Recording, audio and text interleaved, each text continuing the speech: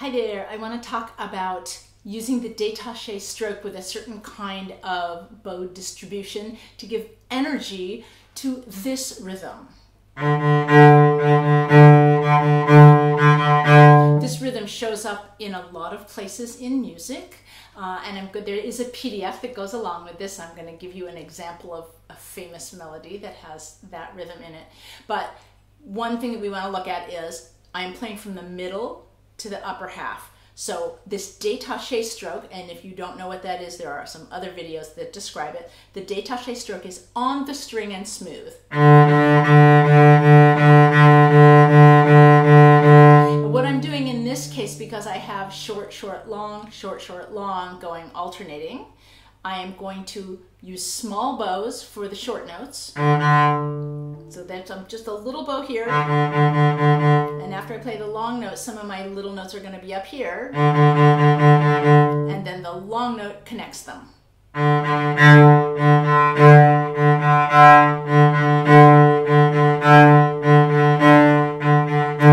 one of the things that I'm doing here is I'm kind of digging my bow in a little bit on those two short notes. And then as I pull the long note, I'm pulling it really fast and I'm releasing the weight.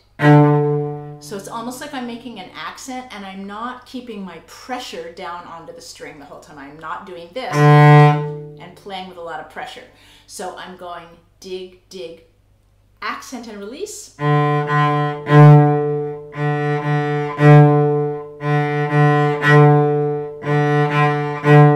you can sort of see that what's happening over here is that I'm digging by pronating my first finger down into the bow. And then when I do the pull and I kind of release the sound I, I don't push as much on this part of my uh, hand. So if you watch my hand for a sec.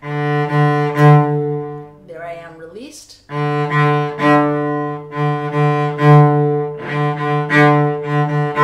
And, and you can play this piece